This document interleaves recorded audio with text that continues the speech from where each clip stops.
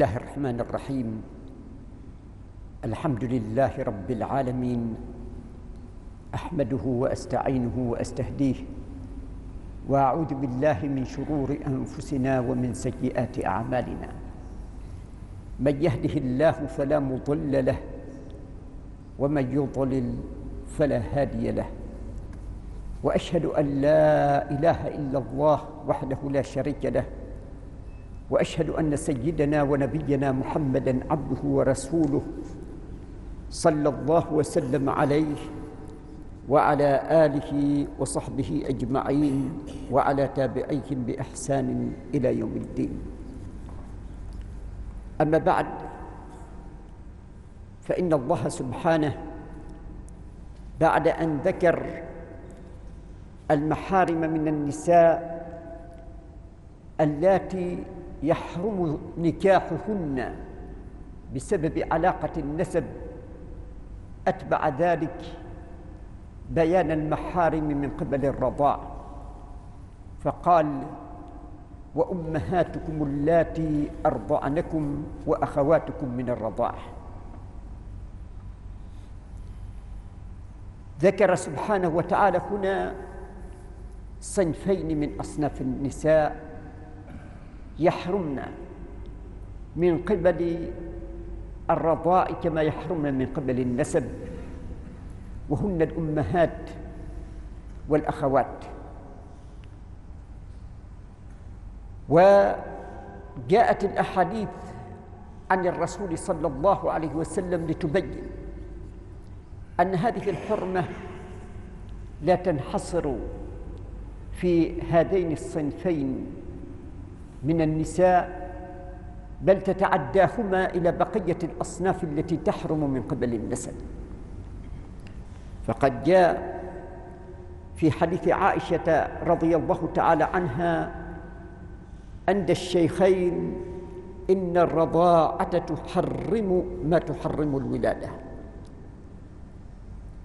وجاء أيضا عند الشيخين من حديث ابن عباس رضي الله عنهما أن رسول الله صلى الله عليه وسلم أريد على بنت عمه حمزة بن عبد المطلب فاعتذر عن ذلك بأنها لا تحل له لأن ثويبة الإسلامية أرضعته وأباها وبين أن الرضاعة تحرم ما يحرم من قبل الرحم.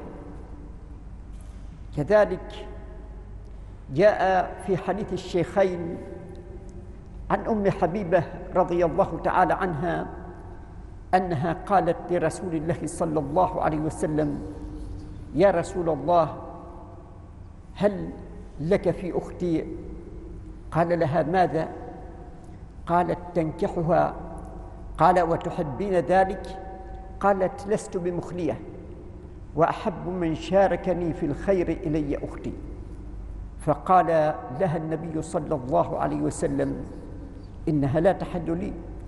فقالت أولسنا نسمع أنك تريد أن تنكح بنت أم سلمة؟ أنك تريد أن تنكح بنت أبي سلمة؟ قال بنت أم سلمة قالت نعم. قال لو لم تكن ربيبتي في حجري لما حلت لي. إنها ابنة أخي أرضعتني وأبا سلمة ثويبة فلا تعرضن علي أخواتكن ولا بناتكن. وجاء ما يدل أيضا على أن حرمة الرضاع تنتشر حتى في العلاقة مع زوج المرأة المرضعة. لا تنحصر في قرابة المرأة المرضعة المحرمة بل تتجاوز ذلك إلى القرابة مع زوجها. فقد أخرج الإمام الربيع في صحيحه والشيخان عن عائشة أم المؤمنين رضي الله تعالى عنها أنها قالت إن أفلح أخا أبي القعيس هو عمي من الرضاعة. استأذن علي فأبيت أن آذن له. فلما جاء رسول الله صلى الله عليه وسلم أخبرته فقال أذني له فإنما الرضاع مثل النسب. وجاء في رواية الشيخين من طريقها أنها راجعت النبي صلى الله عليه وسلم في ذلك وقالت له يا رسول الله أرضعتني المرأة ولم يرضعني الرجل. فقال لها إنه عمك فليلج عليك. وجاء في رواية مسلم أيضا عنها أن أفلح أخا أبي القعيس عند ما استأذن عليها وأبت أن تأذن له قال أذني لي فإنني عمك. قالت له ومن أين صرت عمي؟ قال لها أرضعتك امرأة أخي. فقالت أرضعتني امرأة أبي القعيس ولم يرضعني أبو القعيس. وفي بعض روايات مسلم أيضا وكان أبو القعيس زوج المرأة التي أرضعت عائشة. فتبين من خلال هذه الروايات وغيرها من الروايات الأخرى أن حرمة الرضاع تنتشر ولا تنحصر في الأمهات والأخوات فقط. ولكن هل ذكر الأمهات والأخوات فيه تنبيه على ما لم يذكر في القرآن وعلى ما جاءت السنة ببيانه حتى يكون ما في السنة إنما هو بيان لمدلول القرآن المجمل أو أن ما في السنة يعد زيادة على التأصيل الذي جاء في القرآن الكريم على أن السنة قد ترد ابتداء بتحريم شيء وقد ترد أيضا بإضافة شيء إلى, في القر... إلى ما في القرآن لم يذكر فيه. فإن ما جاء عن النبي صلى الله عليه وسلم إنما هو عن الله وليس لمؤمن ولا مؤمنة أن يتردد في قبول ما جاء عنه صلوات الله والسلام عليه كما أنه لا مجال لأحد منهما أن يتردد. في قبول ما جاء عن الله سبحانه وتعالى. وما كان لمؤمن ولا مؤمنة إذا قضى الله ورسوله أمرا أن يكون لهم الخيرة من أمرهم ومن يعص الله ورسوله فقد ضل ضلالا مبينا. نعم هذه الأحاديث جاءت لتبين أن هذه الحرمة لا تنحصر فيما ذكر في القرآن الكريم فحسب وعلماء الأمة منذ الرعيل الأول وإلى وقتنا هذا لم يكن بينهم خلاف في أن العلاقات المحرمة من قبل الأم الوالدة هي أيضا محرمة من قبل الأم المرضعة. ومعنى ذلك إن رضع طفل من امرأة فإن تلك المرأة تحرم عليه وتحرم عليه أيضا أمها لأنها جدته. وتحرم عليه أيضا بناتها لأنهن أخواته سواء من راضعنه في وقت رضاعه من أمهن أو من كان رضاعهن سابقا على ذلك أو كان لاحقا بعد ذلك. ولو كانت هناك مدة من الزمن وهو خلاف ما اشتهر عند عوام الناس من أن حرمة الرضاع لا تكون إلا عند ما تكون المراضعة في نفس الوقت. فإن هذا خطأ كبير خطأ مخالف للنصوص ومخالف للإجماع فلا يجوز لأحد أن يتزوج أخته من الرضاع سواء رضع من أمها أو رضعت من أمه وسواء كان رضاعهما في وقت واحد أو كان في أوقات متباينة. ولو كان بين رضاعه ورضاعها عشرات السنين فإنها أخته من الرضاعة. كذلك بالنسبة إلى بنات بناتها فإنهن بنات أخواته هن حرام عليه وبنات أبنائها هن بنات إخوته فهن حرام عليه وكذلك آه، خالاتها هن خالات أمه فهن حرام عليه وعماتها هن عمات أمه فهن حرام عليه وأخواتها جميعا هن خالاته فهن حرام عليه هذه هذا مما لم يختلف فيه. وإنما وقع الخلاف فيما إذا كانت هذه العلاقة من قبل زوج المرأة. فجمهور الأمة على أن العلاقة التي تكون مع زوج المرأة إن كانت محرمة من قبل الأب الوالد فهي أيضا محرمة من قبل الأب من الرضاعة الذي هو زوج المرأة لأن اللبن للفحل كما قال. هذه المسألة معروفة عند الفقهاء بمسألة لبن الفحل ومعنى هذا أن ذلك الزوج يكون أبا للطفل الراضع فإن كان هذا الراضع ذكرا فإنه يحرم عليه أن يتزوج بأم الزوج لأنها جدته من الرضاعة. ويحرم عليه أن يتزوج بأخوات الزوج لأنهن عماته من الرضاعة. ويحرم عليه أن يتزوج ببنات الزوج ولو من غير تلك المرأة المطيعة لأنهن جميعا أخواته من الرضاعة.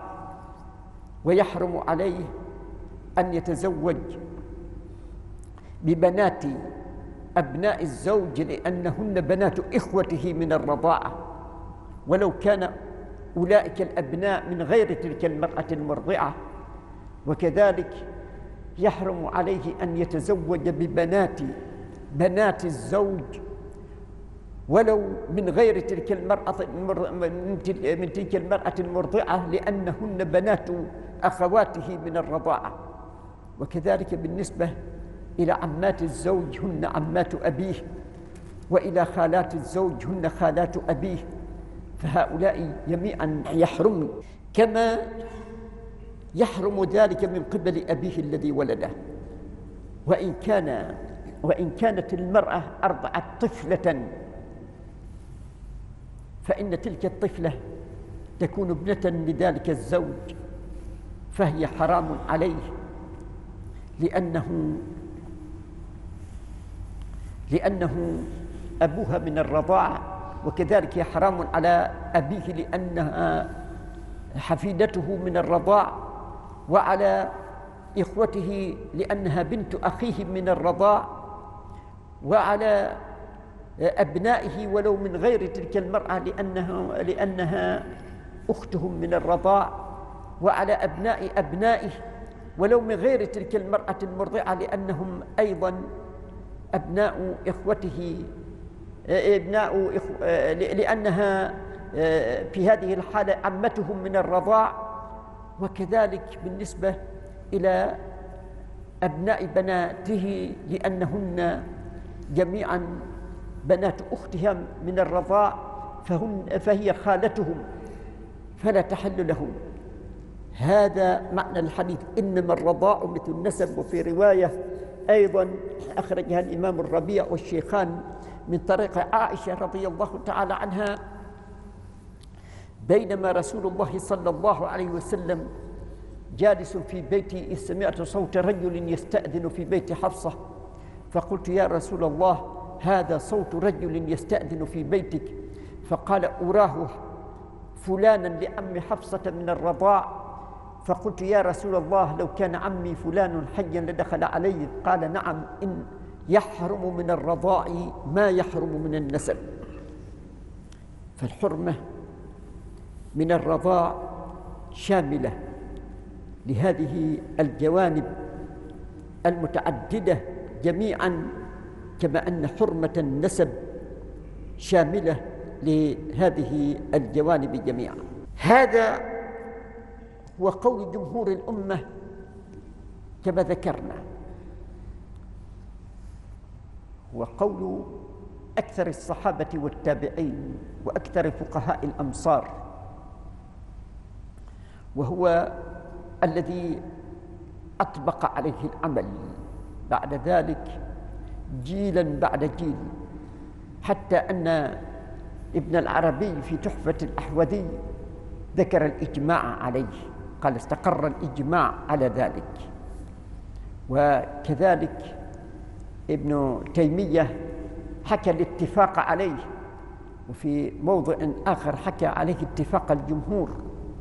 فهذا القول هو الذي أطبق عليه. أطبقت عليه الأمة بعد أن كان هنالك خلاف في صدر هذه الأمة. فقد رويت روايات عن بعض أصحاب النبي صلى الله عليه وسلم أنهم كانوا قد رخصوا في الزواج أي في لبن الفحل ولم يروه شيئا. روي ذلك عن عائشة وابن عمر وابن الزبير كما روي ذلك عن بعض التابعين. ومنهم سعيد بن المسيب وعبد الرحمن بن أبي سلمة وروي عن بعض الفقهاء الذين جاءوا من بعدهم ومنهم داود الظاهري وربيعة وابن بنت الشافعي روي عنهم ذلك. لكن كما قلت طويت صفحة الخلاف فيما بعد هذا. وصار الناس متفقين على أن حرمة الرضاع كحرمة النسب ولو كانت هذه العلاقة هي من قبل زوج المرأة المرضعة. وإنما وجدنا فقيهين قرطبيين. كان عندهما شيء من النظر من غير أن يجزما بمخالفة ما عليه الجمهور. كان عندهما شيء من النظر في هذا. أحدهما القرطبي المفسر.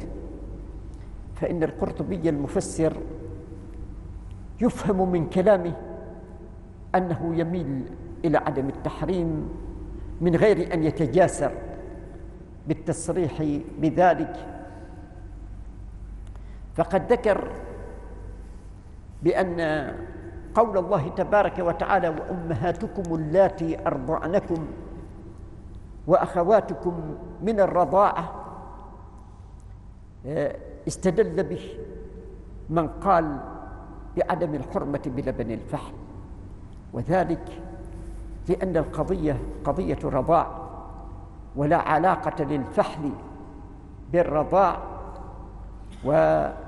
وذكر وجهة نظر الآخرين بأنه سبب في وجود اللبن إذ وطئه كان سببا لوجود اللبن وتعقب ذلك بأن هذا آه، أمر فيه نظر ذلك لأن اللبن إنما حصل بعد ولادة المولود خلقه الله تبارك وتعالى بعد ولادة المولود.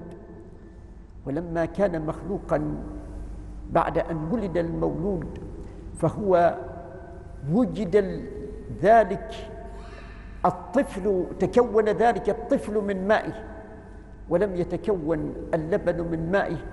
فلا فلا آه، تحمل قضية اللبن على قضية الحمل. لأجل الفرق ما بين الأمرين. ثم ذكر حديث عائشة رضي الله عنها وقال بعده وهو حديث واحد. ثم أتبع ذلك بأنه يحتمل أن يكون أفلح أخو أبي القعيس أخا لأبي بكر رضي الله عنه من الرضاعة. فلذلك قال النبي صلى الله عليه وسلم لعائشة رضي الله عنها إنه عمك فليلج عليك. قال بأنه من المحتمل أن يكون أخا لأبي بكر من الرضاعة. وقال وبالجملة فإن الأمر مشكل. ثم أتبع ذلك بأن الاحتياط في التحريم وهو الذي جرى عليه العمل مع أن قوله تعالى وأحل لكم ما وراء ذلك ما أحل لكم ما وراء ذلك بأن هذا مما يقوي قول المخالف في هذه المسألة. ونحن إذا نظرنا إلى ما ذكره من كون الحديث حديثا واحدا. نرى أولا أن الحديث ليس وحده هو الذي جاء دالا على الزيادة على ما نص عليه القرآن الكريم. فإن الأحاديث الأخرى أيضا جاءت ناصة على ما لم ينص عليه القرآن بل على ما لم يتضمنه. إجمال قرآني. جاءت ناصة على الزيادة فقول النبي صلى الله عليه وسلم يحرم من الرضاع ما يحرم من الولادة. وقول فلا تعرف آه، وقول لو لم تكن ربيبتي في حجري لما حلت لي إنها ابنة أخي من الرضاعة أرضعتني وأبا سلمة ثويبة إلى آخر. ذلك كله مما يدل على أن الحكم لا ينحصر. فيما نص عليه القرآن الكريم. وما ذكره من الاحتمال احتمال بعيد.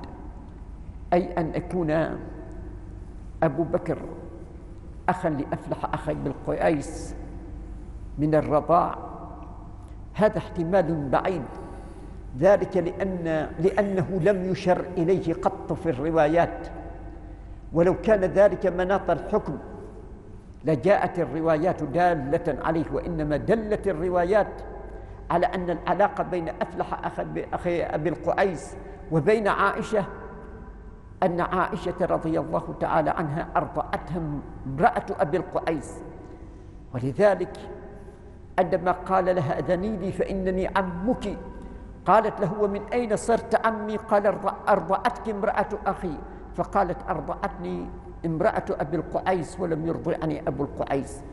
فلو كان أخا لأبي بكر من الرضاعة لقال لها إنني عمك لأن أباك أخي من الرضاعة ولكن لم يشر إلى ذلك قط.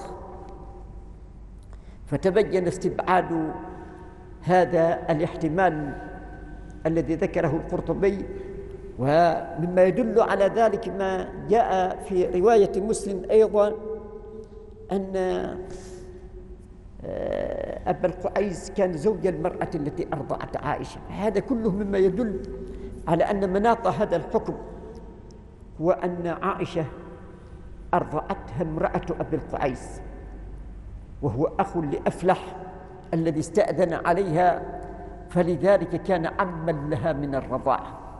وليس هنالك موجب آخر.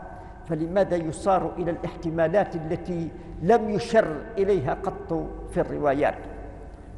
أما الآية الكريمة فإنها أحل لكم ما وراء ذلك الآية الكريمة إنما هي عامة والعام يخصص بالمخصصات ولو كانت ظنية آه، المتن. لأن العام هو ظني الدلالة ولو كان قطعي المتن. فلذلك إن ورد الخصوص على العموم قدم الخصوص ولو كان هذا الخصوص ظني المتن. والتخصيص بالأحاديث الأحادية أمر معهود. أما ما ذكره من استبعاد أن يكون وطء الرجل سببا للبن فهو مردود بأن اللبن إنما يدر بعد الولادة والولادة إنما هي بسبب الوطن فلما كانت الولادة بسبب الوطن ويترتب وجود اللبن على الولادة فالرجل قد كان سببا في هذا اللبن فمن هنا يتبين أن ما جرى عليه جمهور السلف وأطبق عليه الخلف هو القول الذي لا ينبغي أن يعدل عنه. والقرطبي الآخر الذي كان له أيضا رأي وإن لم يصرح به لكن كان له منزع إلى مخالفة الجمهور في هذه المسألة هو ابن رشد في بداية المجتهد ونهاية المقتصد. فإنه بنى الخلاف في هذه المسألة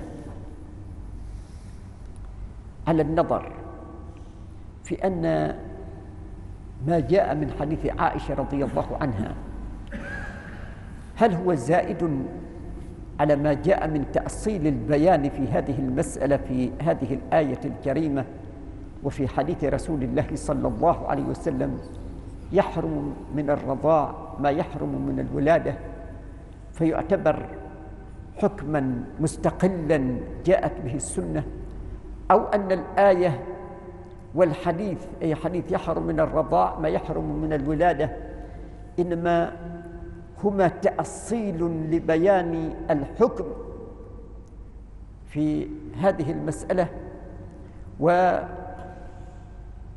والزيادة بعد ذلك تعتبر ناسخة لأن الزيادة التي تغير الحكم تعد ناسخة له. ومعنى هذا أن الزيادة على أن على ما ورد في القرآن الكريم لا تثبت بالروايات الآحادية.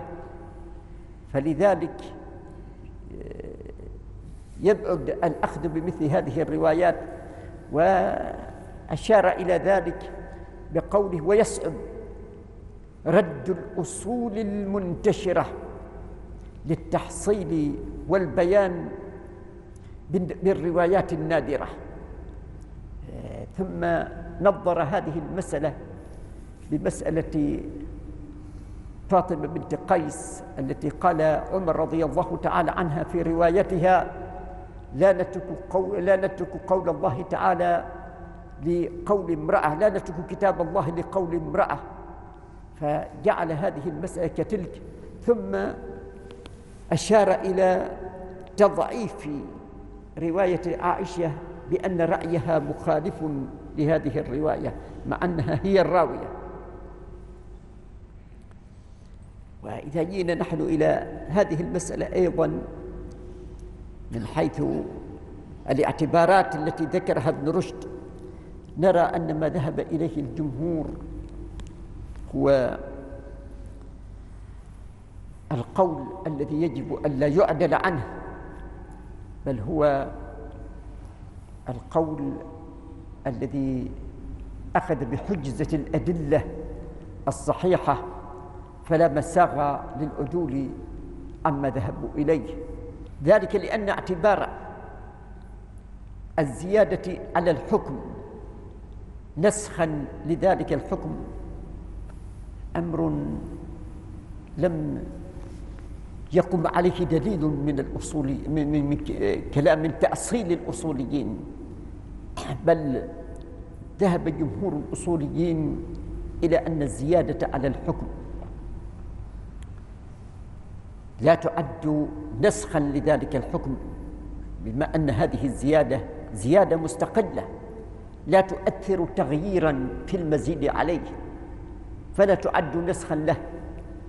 وإنما روي عن أبي الحسين أن زيادة صلاة سادسة نسخ للصلوات الخمس لما يترتب على ذلك من عدم وجود صلاة الوسطى فيما بين الصلوات الست. فقد نص على أن في الصلوات الوسطى وهي خمس اثنتان واثنتان بينهما واحدة فهي الصلاة الوسطى وإن زادت سادسة لم تكن هناك صلاة وسطى. قد تعقب ذلك بأن هذا يترتب عليه في كل زيادة لأنها تصير الأخير غير أخير. على أن وجود وسطى في الصلوات الخمس إنما هو أمر واقعي وليس حكما شرعيا. والنسخ إنما هو رفع لحكم شرعي وليس رفعا لأمر واقعي. بسبب هذا يتبين أن التأصيل الذي ذكره ابن رشد لا يسوغ العدول عن رأي الجمهور في هذه المسألة ثم من ناحية أخرى ما ذكره من أن رواية عائشة آه، رأيها يخالفها أيضا لا يعول على رأي الصحابي المخالف لروايته.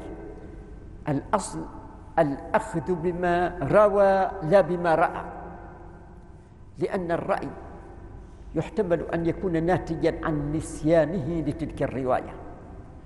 وقوله بأنه يصعب رد الأصول المنتشرة آه، للبيان من أجل من أجل الرواية من أجل الروايات النادرة. هذه رواية ليست نادرة. كما ذكرت هذه رواية معززة بروايات أخرى إذ لو قيل بالندرة للزم أيضا أن يرد حتى حديث يحرم من الرضاع ما يحرم من من الولادة ويؤدي ذلك إلى مخالفة الإجماع. فتبين بهذا أن مذهب الجمهور والذي أطبق عليه الخلف حتى قيل بأنه الإجماع انعقد عليه هو الذي يجب ألا يعدل عنه. وإذا ثبت بأنه يحرم من الرضاع ما يحرم من النسب فهل معنى ذلك أن جزئيات المسائل التي ترجع إلى هذه القاعدة تندرج جميعا في هذه القاعدة أو أن هناك من الجزئيات ما يمكن استثناؤه؟ ذهب جماعة من العلماء إلى الاستثناء وهذا هو الذي عليه الأكثر وقلة منهم قالوا لا داعي إلى الاستثناء لأن تلك الجزئيات المستثناة آه، رؤية الحرمة فيها من قبل النسب لسبب لا يوجد في الرضاع فلما كانت آه، الحرمة نيطت في العلاقات النسبية بأمر لا يوجد في الرضاع لم يكن داعيا إلى الاستثناء إذ لا تدخل أصلا في هذه القاعدة. يحرم من النسب يحرم من الرضاع ما يحرم من النسب. وقد اشتهر استثناء مسألتين وهما أخت الابن من الرضاع لا تحرم. بينما الأخت أخت الابن من النسب هي حرام لأنها إما أن تكون ابنة وإما أن تكون ربيبة. فلعدم وجود السبب الذي يفضي إلى التحريم في النسب في الرضاع كان آه، كانت الحرمة مندرئة. ولذلك قال من قال بأنه لا داعي إلى الاستثناء. والمسألة الثانية هي آه، أم الأخ. فأم الأخ من النسب إما أن تكون أما وإما أن تكون حليلة أب. بكلا الاعتبارين هي حرام بينما أم الأخ من الرضاع هي أجنبية. وقد شاء استثناء هاتين الصورتين وممن ذكرهما الزمخشري وأبو حيان. ولكن مما يعجب أن قطب الأئمة رحمه الله في تيسير التفسير آه، حكى عن الشافعي أنه قال بعدم الاستثناء وبالحرمة. ذكر إحدى الصورتين فقال فيها ذلك ثم ذكر الصورة الثانية وقال وفيها القولان. وكذلك أشار إلى الاستثناء في الهميان بعبارة الزعم وقال بأن الزمخشري قال كالمتبرئ من ذلك وقالوا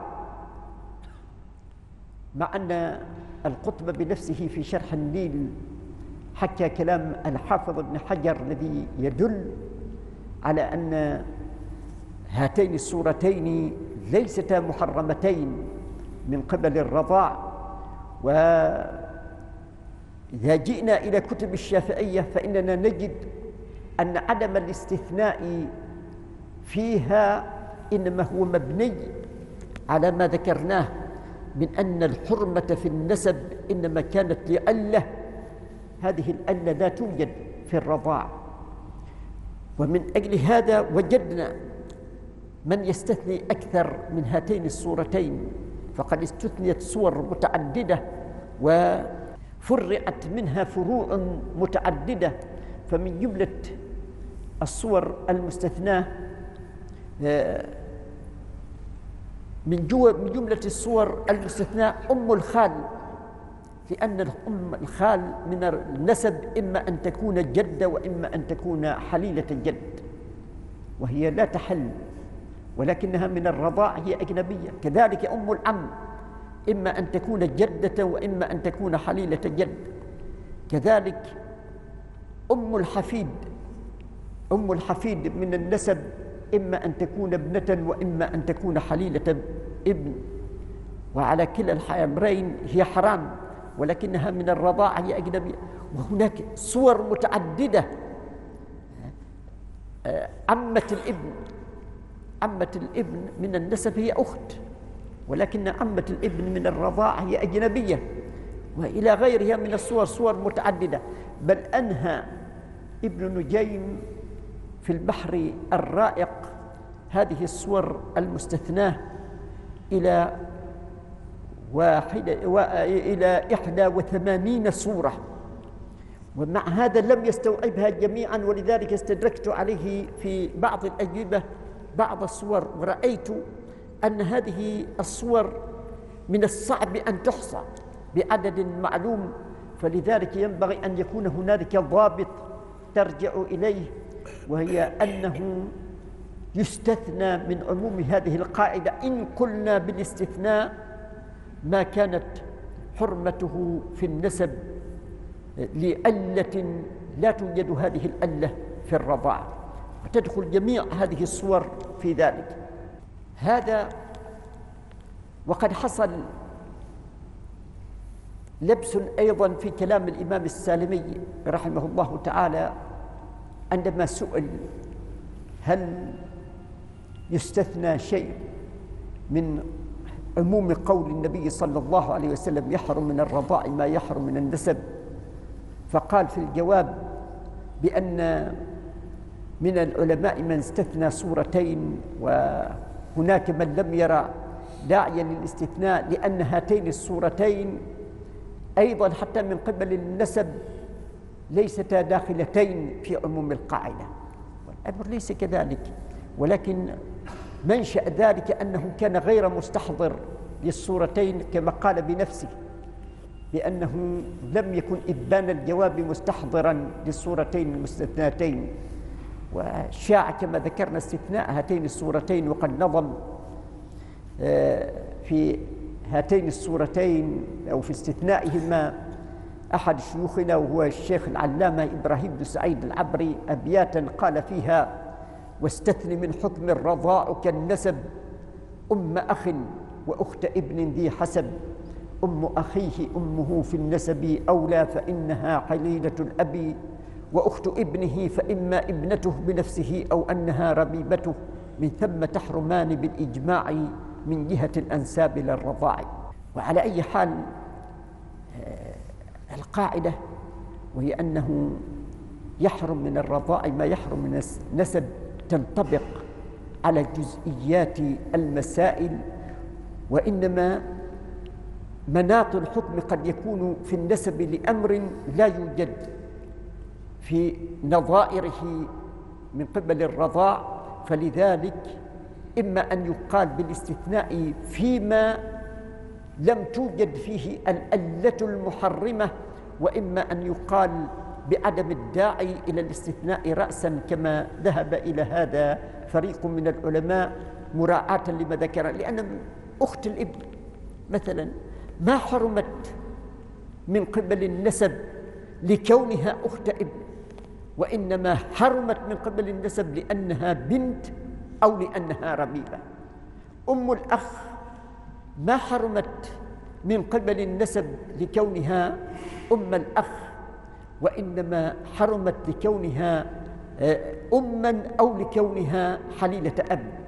كذلك إذا جينا إلى أم الخال وإلى أم الجد وإلى أم العم وإلى آه، وإلى أخت الحفيد وإلى أمثال هذه وإلى أم الحفيد وإلى أم الحفيد. جميع هذه الصور إنما مناط الحكم فيها في النسب ليس موجودا في الرضاع. هذا والأمة تكاد تكون مطبقة على أن هذه العلاقة المحرمة أيضا مراعاة في جانب الصهر فيحرم من قبل الرضاع بالصهر ما يحرم من قبل النسب. ومعنى هذا أن زوجة الأب من الرضاع هي حرام وزوجة الابن من الرضاع هي أيضا حرام. كما لا تحل زوجة الابن من النسب ولا تحل زوجة الأب من النسب وكذلك يحرم أن يجمع ما بين الأختين من الرضاع كما يحرم أن يجمع ما بين الأختين من النسب. ويحرم أن يجمع بين المرأة وعمتها وبين المرأة وخالتها من قبل الرضاع كما يحرم ذلك من قبل النسب. وهذا هو الذي أطبق عليه الجمهور. وإنما شد في هذا ابن تيمية. فكلامه يرشح منه أنه يرى خلاف ذلك وتلميذه ابن القيم يؤيده. ومرة يبدي في كلامه توقفا ولكن الجمهور أو الأمة مطبقة على هذا مع ابن تيمية. واستدلالاته تدور حول أن الحديث لم يذكر الصهر ما قال يحرم من النسب ما يحرم من الصهر وإنما قال يحرم ما قال يحرم من الرضاع ما يحرم من من الصهر وإنما قال يحرم من الرضاع ما يحرم من النسب. هذا يعني عدم دخول المحرمات من قبل المصاهرة بطريق الرضاع كما يكون ذلك بطريق النسب. وعلى أي حال نحن نرى أن مثل هذه الصور فيها جانبان جانب صهر وجانب نسب. جانب صهر وجانب نسب. فنفس الأخ نفس آه، آه، الابن من الرضاع هو ملحق بالابن من النسب ف ولما كانت زوج ولما كانت زوجة الابن حليلة الابن من النسب لا تحل كذلك من الرضاع. لا يقال بأنه يخرج حكم ذلك من من حكم حليلة الابن من النسب لأن الله تعالى قال وحلائل أبنائكم الذين من أصلابكم لأن قوله من أصلابكم إنما هو تقييد لئلا يدخل فيه الأبناء الذين تبنوا بما كان عليه نظام أهل الجاهلية وما كان عليه أيضا النظام في صدر الإسلام قبل أن يحرم التبني في الإسلام. ولا يعني هذا التقييد إخراج الابن من من الرضاع فإن حليلته أيضا تحرم وكذلك بالنسبة إلى امرأة الأب.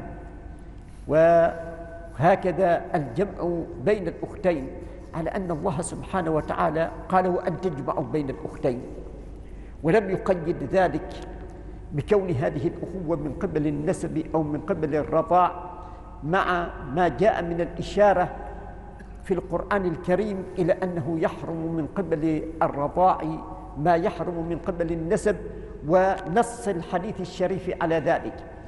لذلك قلنا بأنه لا يحل لأحد أن يقدم على تزوج من تحرم عليه بسبب علاقة الصهر النسبي كما يحرم ذلك بسبب الصهر الذي يكون من طريق الرضاع ومثل ذلك أم أم الزوجة من الرضاع.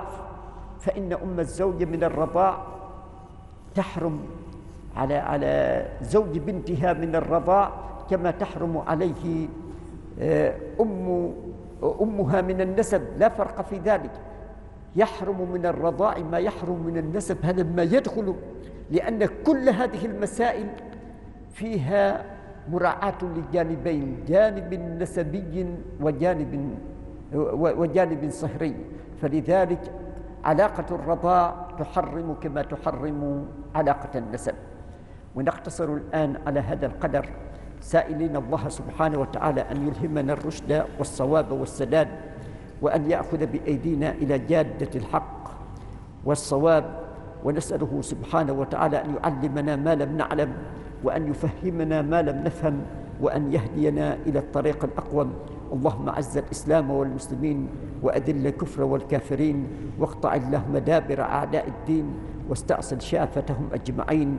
اللهم شتت شملهم ومزق جمعهم وفل حدهم وأقلل عدهم وارد كيدهم في نحورهم واعدنا وجميع المسلمين من شرورهم وامحو آثارهم وأورثنا أرضهم وديارهم واطمس على أموالهم واشدد على قلوبهم يا رب العالمين وصل اللهم وسلم وبارك على عبدك ورسولك سيدنا ونبينا محمد وعلى آله وصحبه أجمعين. سبحان ربك رب العزة عما يصفون وسلام على المرسلين والحمد لله رب العالمين.